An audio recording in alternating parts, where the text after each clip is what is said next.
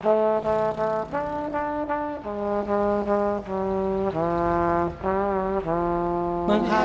Manhattan, Manhattan, Manhattan, Manhattan, dun dun. Manhattan, Manhattan, Manhattan, Manhattan, Manhattan, dun dun. Do garoto que vem pedir o troco no sinal da avenida que só pensa em crescer colorida. Refletida no neon, no heavy metal. O garoto vai comer vale refeição pra toda a vida. Manhattan, Manhattan, Manhattan, Manhattan, Manhattan, dun. Tão pequena e tão grande, tão bonita e tão feia. Manhattan do terceiro mundo sem areia. Haja rico, haja pobre, elegante, um tanto snob. Judas Iscariotes na Santa Ceia. Manhattan, Manhattan, Manhattan, Manhattan, Manhattan, dun, dun. Manhattan, Manhattan, Manhattan, Manhattan, Manhattan, dun, dun.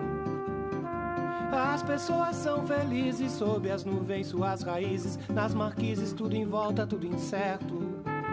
Quero ver você por perto, quero ser o mais esperto, aquecedor no meio do deserto. Manhattan, Manhattan, Manhattan, Manhattan, Manhattan, dun, dun. Manhattan, Manhattan, Manhattan, Manhattan, Manhattan, dun dun. We did did do, we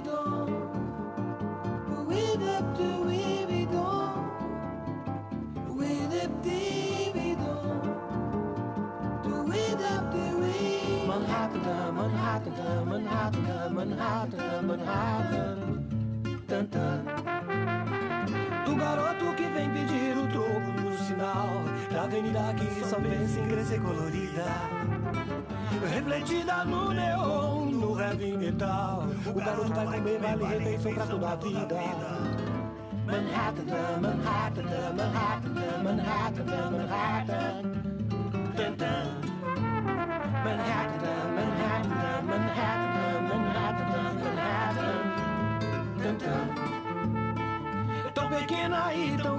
tão bonita e tão feia. Manhattan do terceiro mundo sem areia. Haja rico, haja pobre, elegante, um tanto snob. Judas Iscariotes da Santa Ceia. Manhattan, Manhattan, Manhattan, Manhattan, Manhattan. Manhattan, Manhattan, Manhattan, Manhattan, Manhattan, dun, dun. As pessoas são felizes sob as nuvens, suas raízes. Nas marquises, tudo em volta, tudo incerto. Quero ver você por perto, quero ser o mais esperto. Aquecedor no meio do deserto. Manhattan, Manhattan, Manhattan, Manhattan, Manhattan. Manhattan, Manhattan, Manhattan, Manhattan, Manhattan.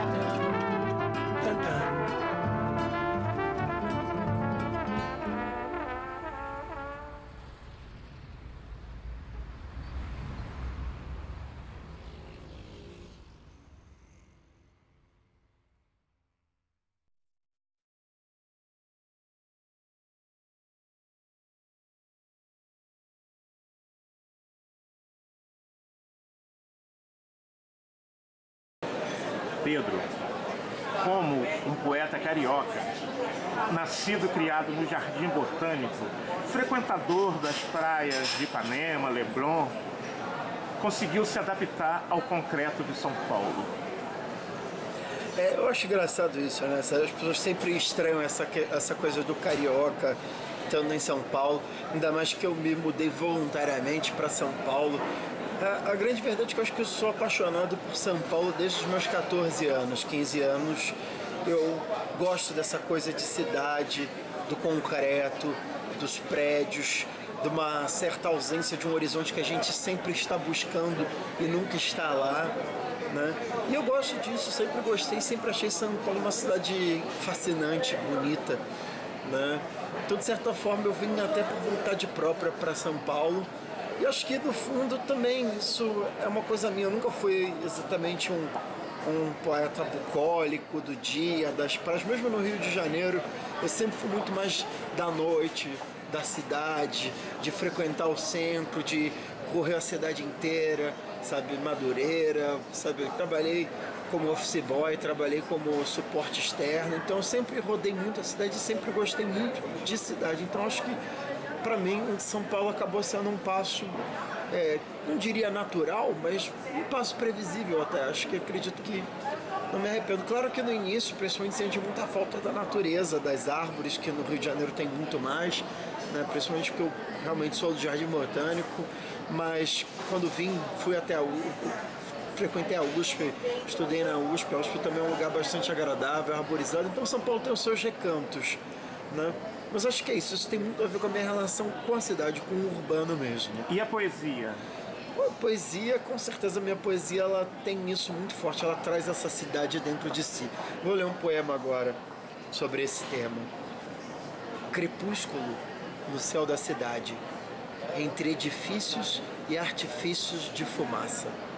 Nas ruas, os carros se atropelam sem saber aonde vão. Enquanto isso, no meu jardim, as formigas caminham civilizadamente em fila indiana rumo ao formigueiro. Os carros buzinam, as formigas não. Muito bom. E você confia na água que você bebe? Não, nem um pouco, mas a gente vai morrer mesmo. Então, se beber um pouquinho de cloro, de flor, dessas coisas, a gente vai beber mesmo, não tem jeito. Vamos ver o que? De água mineral? Não tem grana pra ficar tomando água mineral todo dia. A gente bebe água de sabespe mesmo. Bebo da, direto da torneira, às vezes. Não tem, tem essa não, sabe? Se eu tiver que morrer, vou morrer mesmo, de, de um jeito ou de outro. A vida é o caminho inexorável até a morte. Então, tanto faz se a gente está bebendo. Quer dizer, tanto faz não, né? A gente preferiria beber uma água pura, uma água do rio, uma água limpa, mas já que isso não é viável, vamos beber essa bespe mesmo com cloro e flor, porque é isso mesmo. E até onde a poesia tem relação com, com essa situação? A poesia tem tudo a ver, aliás, a poesia tem tudo a ver com tudo na vida, né? não apenas com a água que você bebe. Acho que a poesia é o nosso filtro do mundo, né? Não, não apenas um, um, um, filtro da água, mas um filtro de todas as suas formas de ver, de vivenciar, de experienciar o mundo. Então é a poesia que tira as impurezas da nossa alma e que nos deixa prontos para mais um dia. Sem cloro, nem, sem cloro nem flúor. Vou ler um poema aqui. Vai lá. Arritmia. Não, não bate forte coração, não bate, porque não há descompasso maior no mundo que pulsar não bate forte coração. Dias, dias lentos, rápidos, perco o passo e paro. Prossegue a procissão incólume, segue pastores, presos na torre. Fútil, escolho, cato palavras e conto. Me dá um desconto. Miserável que sou, não me vou sem saber desperdício. Ao certo, incerto é o que sei, nada sei. Descarto correntezas, levo descaminhar. Pare, hora para descansar. Tarde inútil, vadia, entrega ao ócio, vício barato diversão. Entretanto, luto insônia, insano contra o tempo, contra tempos invento. Descarto todo óbvio, linha reta não apraz, a alma nunca tem paz, a paz não tem alma, nada calma essa fauna urbana, eu fujo. Corro bem longe dentro esse eletrocardiograma, por isso não bate, não bate forte, não bate forte, o coração não bate meu sopro. Coração, para. E o que é que você faz com o lixo que você produz diariamente nessa cidade, que é uma das mais produtoras de lixo do país? Olha, essa questão do lixo realmente, é, infelizmente, a gente produz mais lixo do que a gente gostaria. Né? Então, eu acho que eu tento seguir dentro do possível a lógica mínima de civilidade. Então, reduzir a quantidade de lixo sempre que possível, utilizando mochila, sacola ecológica para a gente não ficar carregando muito saco plástico para casa.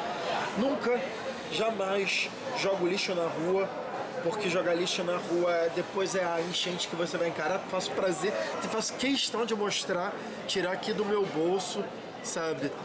Eu sempre guardo lixo no meu bolso, sempre tenho sacolas plásticas para juntar o meu lixo, jogar no lixo certo, no lugar adequado sabe? Meu lixo que eu produzo assim na rotina, de, seja um pacote de bala, um pacote disso, sempre vai para o meu bolso para depois ser dirigido para um lixo, para um lugar adequado.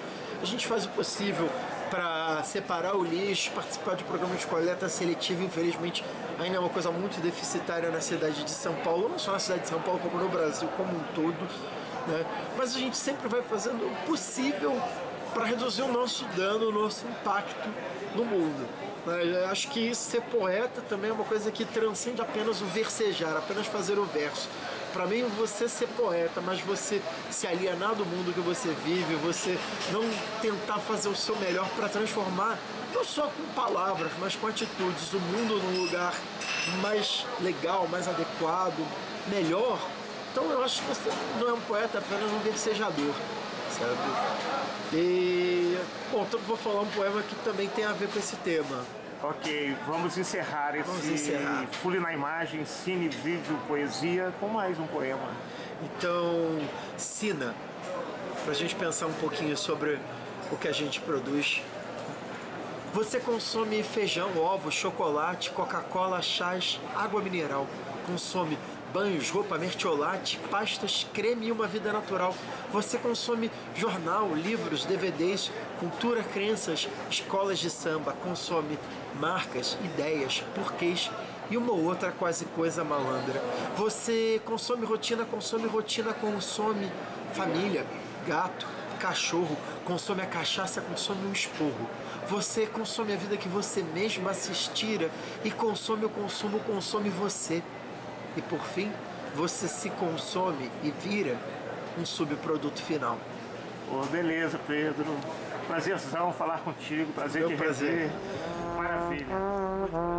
Manhattan, Manhattan, Manhattan, Manhattan, Manhattan, dun.